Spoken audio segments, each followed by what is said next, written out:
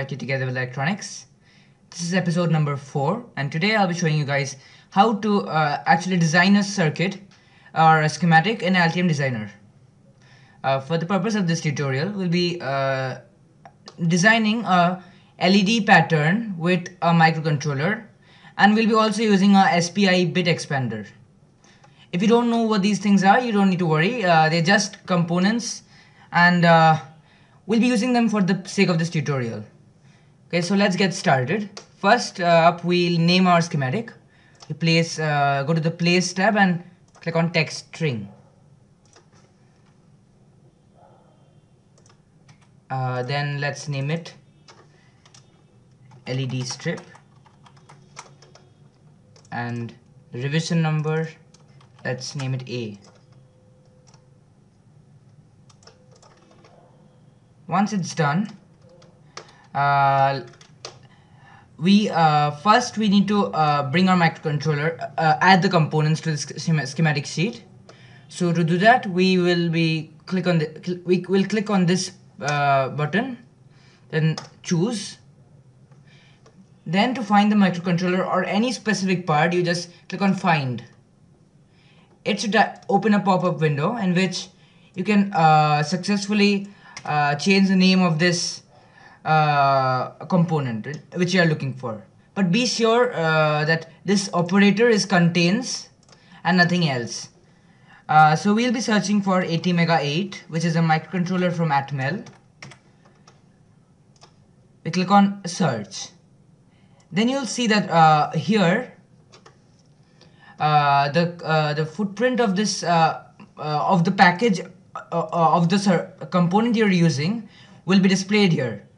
For this tutorial, we'll be using a um, DIP socket or a dual inline package. so we select one with a DIP pattern. We select OK and again. And that should bring our component successfully to the sheet.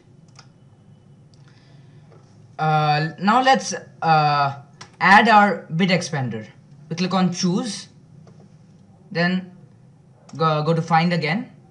Now we search for MCP S23 uh, S08 and hit search again. And it should bring up the relevant search results. Uh, we'll be using our dip package again. And so we click OK again. And now we place the component where we want. Uh, let's place it here. Should be good enough. Now let's uh, uh, we'll be connecting eight LEDs to this uh, place. So let's add um, let's add a, a, resistances so let's say we just uh, take resistance from this corner. This is a handy tool. Uh, you can also get capacitors and all sorts of logic elements here. So uh, that should bring our resistance to the uh, to this front. And now you'll notice that it comes with a weird annotation called res2 it's not you don't really need it. So you just uh, click on double click on it and uncheck this box. And it should make it automatically invisible. So now let's move it to the appropriate place uh, and then we hit uh, control C to copy this component. And we repeat the process 8 times.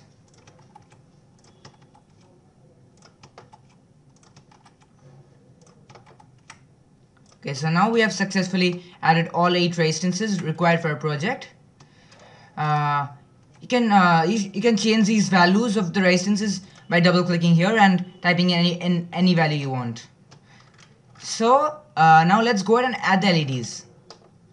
We again go to place part choose and then under miscellaneous devices uh, you should find the LEDs somewhere like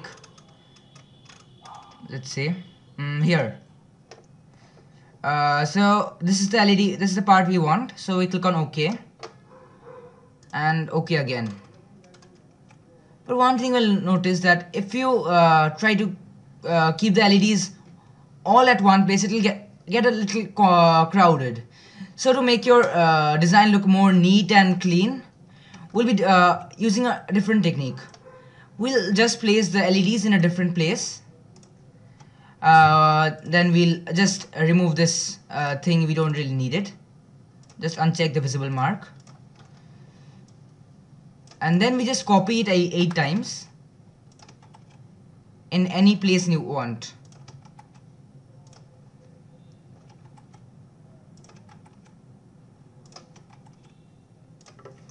Okay now you've successfully added all LEDs to, uh, to your design. Now we select all and just move it to one corner. Let's say here. Now uh, we'll be connecting one end of this uh, enter of all the LEDs to ground. So we just click the uh, ground power port. And we connect it to one LEDs and uh, one LED and then we just drag all the LEDs and connect them to the negative power rail. So that should be good enough. And now for the power uh, part we'll be connecting each of these pins to this uh, to the output of these resistances. Let's go ahead and uh, connect these wires.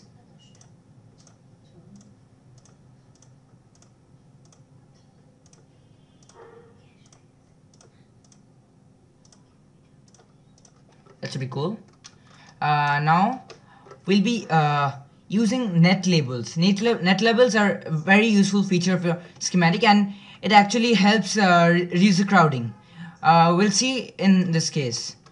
We'll just extend this wire a bit in all the cases.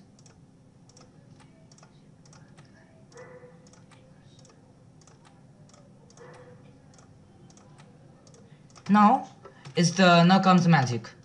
We go, go to uh, place, then we uh, click on uh, net, net label.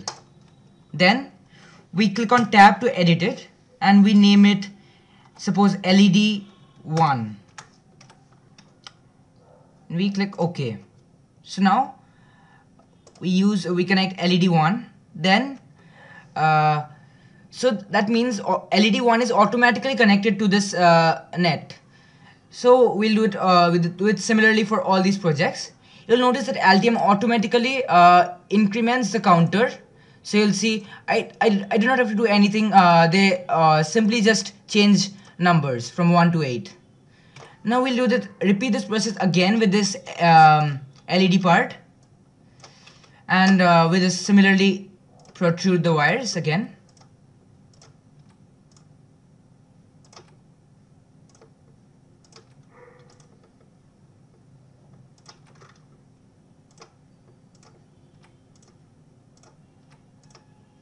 cool now we uh, do the same thing. Go to place then click on net label.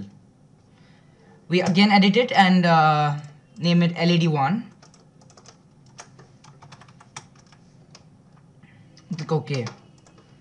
Now it's similarly uh, do the same process again. One thing you'll have to make sure is that uh, th these names have to be exactly the same you cannot even miss out a single semicolon or comma or anything. They have to be exactly the same. Otherwise, you'll get a compiler error. Uh, so that uh, what this does is connects this part of the schematic, uh, this part, uh, to this uh, resistance network. So you don't have to drag wires all the way across your schematic. It makes your schematic a lot neater okay now we'll uh, be uh, going ahead and adding the power supply for this project. Uh, we'll be uh, using a LM7805 it's a very popular uh, 5 volt voltage regulator. We again go to find.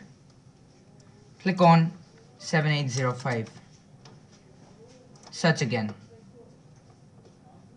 And select the relevant component. Let's go with this one and we place it anywhere you want. Uh, exit this mode. Okay now this is our LM7805 we'll be adding a um, input jack. Uh, so we'll be using a two pin header. Let's go to parts. And it should be under miscellaneous uh, connectors. We search for header 2 it's a two pin header we go and click OK. Now a very useful feature is that uh, if you want to mirror a schematic, uh, mirror a component, along the y-axis you'll have to place y, uh, you have to click uh, y on the keyboard and we'll just mirror it along the y-axis uh, to do to do it again you just click y, y one more time. And if you want to mirror it along the x-axis you click on x and uh, just mirror it across the x-axis this is an extremely useful uh, tool. So once you place your component you just go ahead and add a wire and join these join this part. Now we'll be adding a capacitor. We go to this uh, this this part and we select a 0.1 microfarad capacitor and we add it like this. We join the wires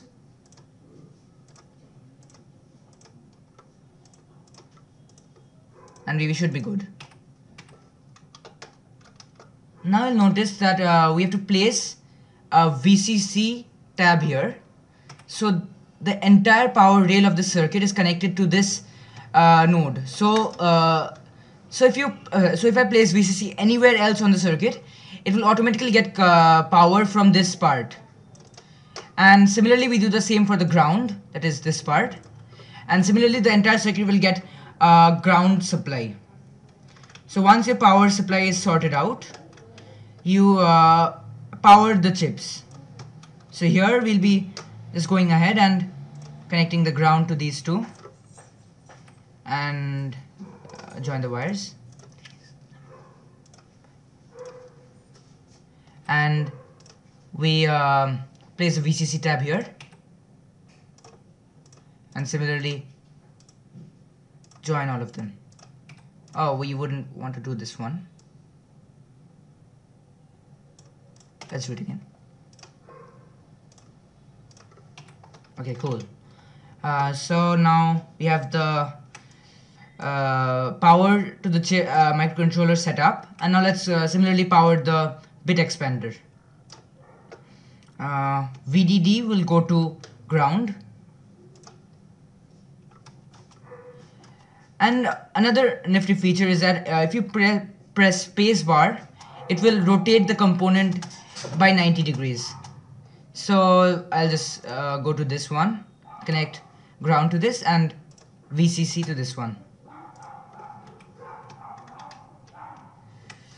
Uh, we'll, we won't be using interrupts so we'll just neglect it. Uh, now the reset pin will be going to any uh, any one of these IO ports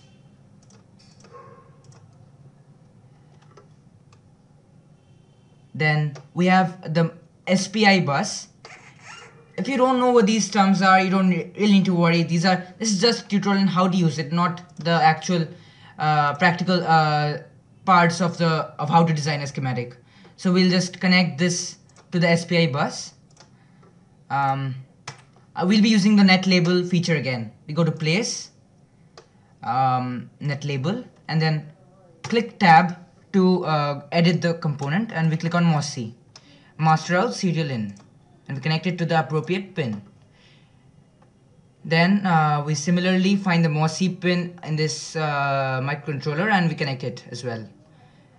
Then we have also have MISO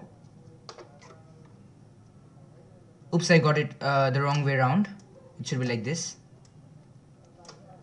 yep. Uh, let's connect this wire. Cool. Now um, similarly we have to do the same for miso that is master in serial out.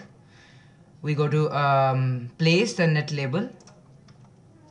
Click tab again then miso.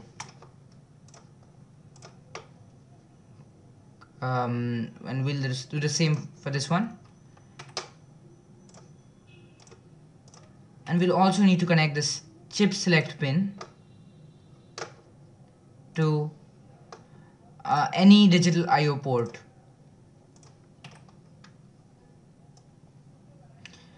Okay, so with that, our uh, schematic sheet is uh, ready. It's a fairly uh, simple design, uh, but uh, this should explain how the schematic editor works. So now we'll, let's go ahead and annotate the schematic. we go to tools, then annotate schematics quietly. You click on yes, to confirm. And thereby you have successfully named all your components. So now let's uh, actually go ahead and compile the project. Go to project tab click on compile. Then to see the compiler report we go to view then uh, workspace panel uh, system then messages. You'll see it has a few errors. Uh, these errors actually have no sense because Altium Designer even though it has a very powerful compiler it does not have actual the gray uh, does not have the gray matter to actual actually process uh, real-time environments. So we'll just neglect this these errors. So that is it. We have successfully designed a schematic on uh, the schematic editor it is not really that hard. One and uh, it uh, if you want to learn it's a very very powerful tool. So um, that's it guys. Thank you for watching